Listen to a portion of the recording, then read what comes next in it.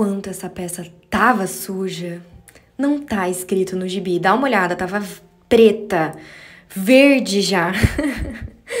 Muito suja, sei lá. Acho que o dono antigo deve ter pisado no carvão ou um barro muito preto, porque ele tava muito sujo, já bem tristinho esse Adidas. Então eu pensei, tem potencial, vai ficar bonito, vamos dar um jeitinho. O couro tava ótimo, assim como o solado também. Ele tava novo, só muito sujo. Então vamos lá, mãos de fada agora nesse tutorial que eu vou apresentar para vocês o que, que eu faço para limpar esses tênis quando eles estão assim, bem sujos. Nada muito diferente do que usualmente a gente está acostumado. Eu pego uma buchinha e vou limpando muito bem com sabão de coco. Eu adoro usar sabão de coco porque eu acho que ele limpa muito bem, principalmente os tênis brancos. Então vamos lá, a buchinha, e aí às vezes eu passo uma escovinha, como vocês estão vendo ali, principalmente no solado, na parte de baixo, mas tomo muito cuidado com a escovinha no couro, porque ela pode sim vir machucar esse couro e, né, tirar alguma lasca, alguma coisinha que a gente não quer nem, nem pensar. Tiro ali as palmilhas, separo, vou lavando as palmilhas separadas. E aí depois o que, que eu faço? Depois ele já bem lavadinho, estão vendo que eu já tirei o grosso? Eu percebi que ele ainda assim tava com essa parte de dentro ali, o forro, que é muito difícil de ser lavado, tava muito escuro. Então, apesar dele já estar tá limpo assim por fora, ainda amarelado, né, que tem mais uma técnica, aguenta aí que a gente vai tirar esse amarelado também do solado. As palmilhas também estavam muito sujas, apesar de eu já ter esfregado elas no máximo. Então, pausa. Nesse momento de vídeo, eu quero dizer que essa técnica que eu vou usar agora não é indicada para todos os tênis. É só em último caso, quando eu vejo que eu não consegui tirar essas manchas de nenhuma outra maneira e também é só indicada para tênis completamente brancos. Então vamos lá, eu deixo de molho um pouquinho de água sanitária diluída em água coloco meu tênis lá e deixo um tempinho para né, tirar toda aquela sujeira mesmo que não vai ter jeito de outra maneira. Depois disso e depois de tudo enxaguado, vamos para a parte do solado, que já é um muito conhecido aqui no canal essa técnica. Com o teu tênis já limpinho, enxaguado da água sanitária, a gente vai com água oxigenada, 40 volumes, tem que ser 40, porque ela tira bem aquele amarelado, tem que ser bem potente mistura um pouquinho com qualquer pó descolorante que você tiver. Então, de olho mesmo, não tem mistura, você vai mexendo. Essa mistura costuma render muito, tá? Então eu sempre digo, não precisa abusar porque ela rende mesmo. Esse tantinho aí que eu tô fazendo, ó, ela chega nessa consistência e dá pro tênis todinho. Então, essa pastinha eu vou passar nesse solado para tirar esse amarelado que geralmente fica com o tempo nessa borracha. Vou passando, espalhando com um pincel que eu só deixo para isso na minha lavanderia e espalho uma camada fina assim por cima mesmo desse solado. Olha lá, tá vendo? Não precisa deixar acúmulo nem nada, é só passar por cima mesmo. Por isso que eu disse que essa mistura rende bastante. Às vezes eu faço demais e passo em um ou mais tênis porque rende mesmo, tá? Então eu deixo no sol, porque é uma mistura fotossensível, tem que deixar no sol porque ela faz agir melhor essa mistura e faz deixar mais branco. Você pode deixar na sombra, mas no sol ela é mais potente, vai tirar com mais facilidade esse amarelo. Olha lá, o tênis já branquinho, estão vendo?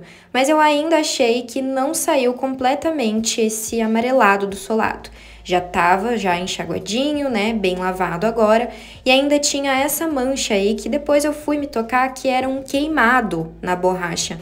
A pessoa provavelmente derrubou alguma coisa mesmo, um carvão mesmo ou alguma bituca, alguma coisa assim. Então, o que, que eu pensei? Vou fazer a restauração. Vou usar tinta acrílica fosca, essa daí que vocês estão vendo na tela, e vou pegar um pincelzinho e pintar assim, porque eu acho que estava merecendo um solado novo esse tênis. Então, com muito carinho, fui lá dando umas demãos assim, bem levinhas, passando por onde eu achava que merecia e também nas costuras que estavam um pouco sujas, né? Que não saíram completamente na lavagem. As costuras elas tendem a ficar mais encardidas.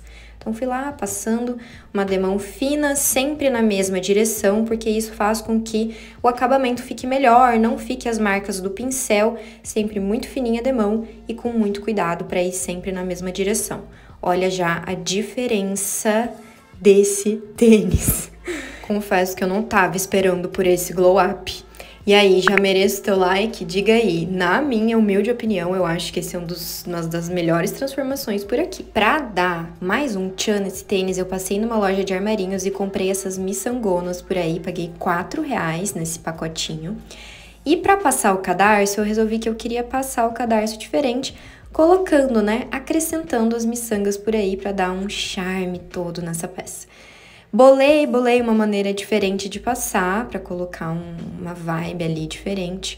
E esse é o resultado do tênis. Meu Deus, olha isso! Chocada, nem eu acreditei nesse glow up.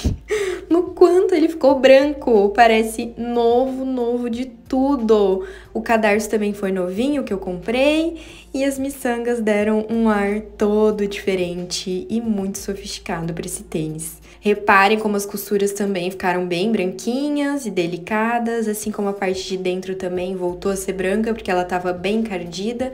A gente não comprometeu o couro, a borracha também a gente conseguiu cobrir aquela parte que estava queimada e manchada com essa tinta. Essa tinta não sai na lavagem, essa acrílica fosca que eu utilizei. Só que você tem que tomar cuidado, né? Você não vai ficar esfregando por cima. Tem que tomar cuidado, assim como qualquer outra peça. Mas ela não sai na água, fiquem tranquilos, vocês vão poder sair de casa se vocês usarem, pegar chuva e não vai derreter no teu pé essa tinta. Mais uma nova e bota nova nisso, vida para esse tênis. Tava tristinho, sujo, encardidíssimo, de preto, de sei lá, carvão, barro. Então, compara aí a diferença do antes e do depois, mostrando de pertinho também aquela parte de dentro, com a palmilha, que também ficou tudo muito branquinho, muito limpinho, depois a gente ter deixado de molho. E é isso.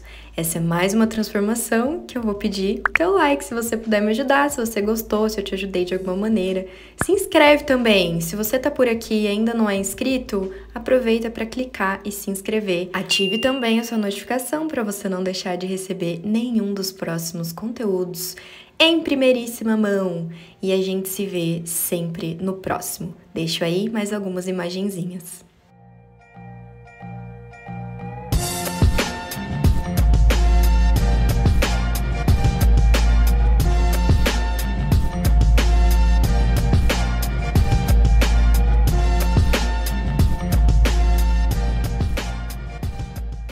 Beijo no teu coração. Tchau!